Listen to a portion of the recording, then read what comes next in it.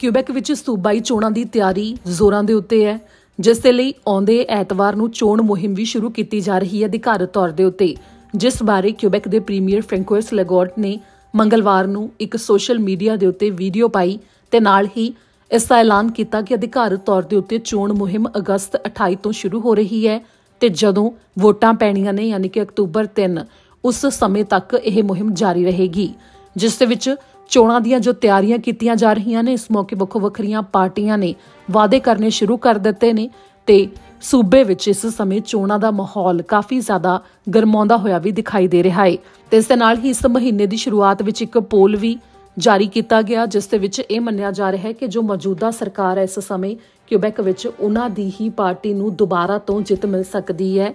ਤੇ ਬਹੁਮਤ ਦੇ ਨਾਲ ਉਹ ਦੁਬਾਰਾ ਤੋਂ ਆਪਣੀ ਸਰਕਾਰ ਬਣਾ ਸਕਦੇ ਨੇ। ਜਿਸ ਦੇ ਵਿੱਚ ਦੱਸਿਆ ਗਿਆ ਕਿ ਲੈਗੋਲਟ ਦੀ ਪਾਰਟੀ ਨੂੰ 44% ਤੱਕ ਵੋਟਾਂ ਮਿਲ ਸਕਦੀਆਂ ਨੇ ਜਦਕਿ ਦੂਜੇ ਨੰਬਰ ਉੱਤੇ ਕਿਊਬੈਕ ਲਿਬਰਲਸ ਰਹਿ ਸਕਦੇ ਨੇ 18% ਦੇ ਨਾਲ। ਇੱਥੇ ਜ਼ਿਕਰਯੋਗ ਹੈ ਕਿ ਜੋ ਇਸ ਸਮੇਂ ਕਿਊਬੈਕ ਦੇ ਵਿੱਚ ਸਰਕਾਰ ਹੈ, ਉਸ ਦੌਰਾਨ ਲੈਗੋਲਟ ਦੀ ਪਾਰਟੀ ਕੋਲ 76 ਸੀਟਾਂ ਨੇ,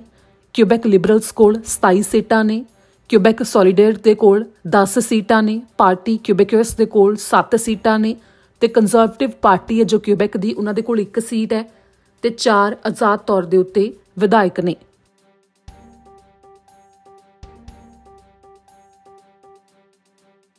Bonjour tout le monde. J'ai le plaisir de vous annoncer que la campagne électorale va être déclenchée officiellement le 28 août prochain.